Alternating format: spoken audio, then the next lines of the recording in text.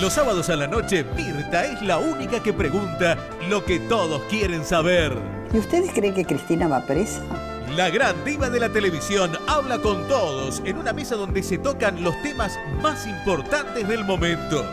Y el domingo, Mirta se pone al frente del clásico argentino por excelencia, donde todas las voces se hacen escuchar. Que se destape todo, todo.